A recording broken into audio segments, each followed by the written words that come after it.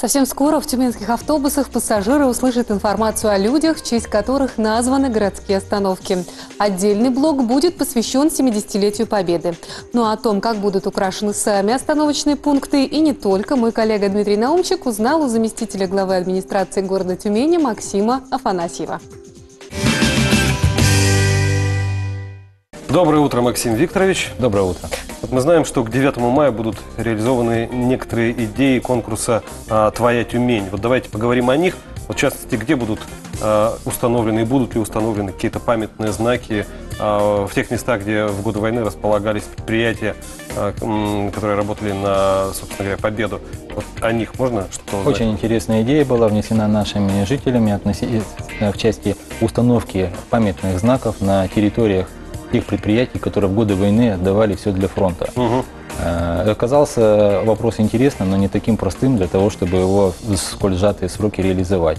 Мы сейчас ведем работу с историческими справками, с архивными данными для того, чтобы четко знать достоверно, где располагалась та или иная территория предприятия, чтобы там э, увековечить памятью, пред- камнем, на котором зафиксировать информацию, что здесь был тот или иной завод. Ну, что-то уже известно? Да, конечно. Вот э, мы до 9 мая однозначно установим на территории бывшего завода «Строймаш». И для того, чтобы наши потомки знали, что именно здесь была территория, мы эту работу проведем сейчас досконально в течение года, поскольку ведь э, важно в год юбилейный, 70-летие Победы, эту идею реализовать. Еще какие-то идеи вы можете отметить? Да, а, была очень интересная идея по посадке 70 деревьев, приуроченных к 70-летию Победы. А, Мы, посовещавшись с нашими жителями, с ветеранским движением, определили такую территорию «Сквер Победы», которая располагается на территории Восточного административного округа.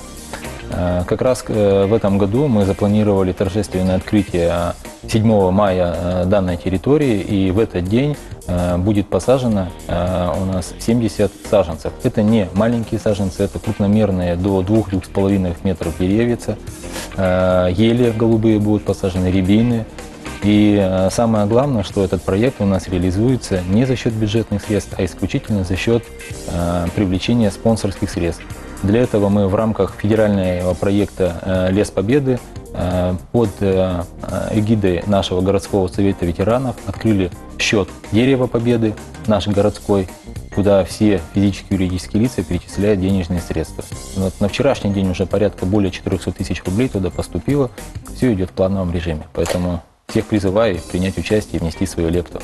Поступало еще предложение как-то особенно оформить остановочные комплексы. Вот что это будет?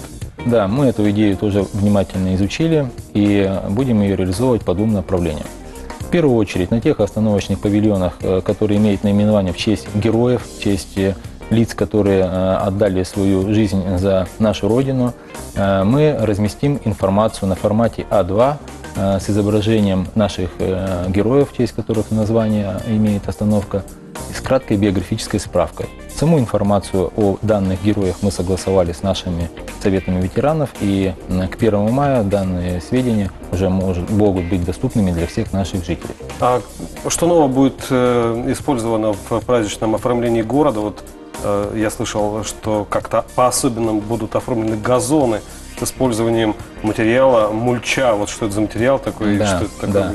Ну, вообще я хотел отметить, что э, в этом году мы к празднованию подошли по-серьезному и разработали заранее концепцию праздничного оформления города.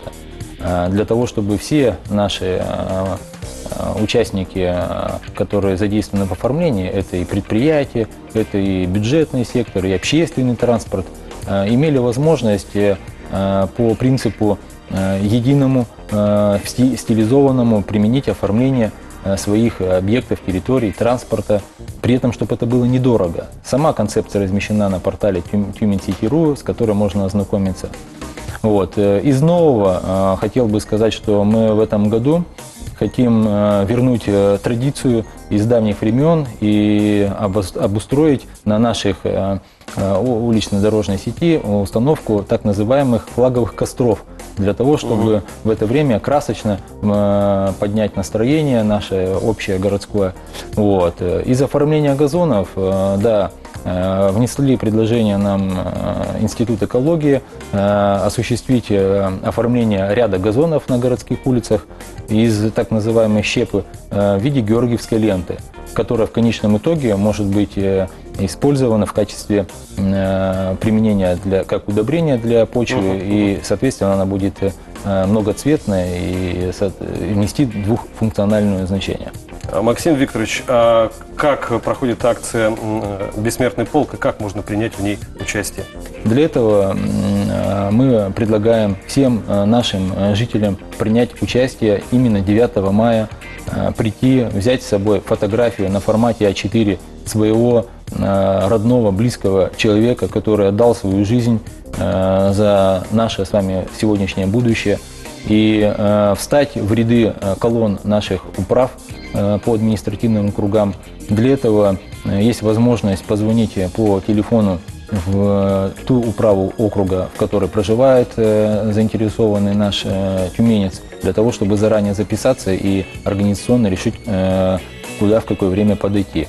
Планируется, э, что будут э, оформлены как раз-таки бессмертный полк э, стилизованно, и все будут нести на э, данные фотографии. Сами флагштоки изготавливаются муниципалитетом, они будут выдаваться в управах, на них только будет прикрепляться фотография формата А А4. Максим Викторович, спасибо большое за столь подробный ответ на наши вопросы. Приходите еще.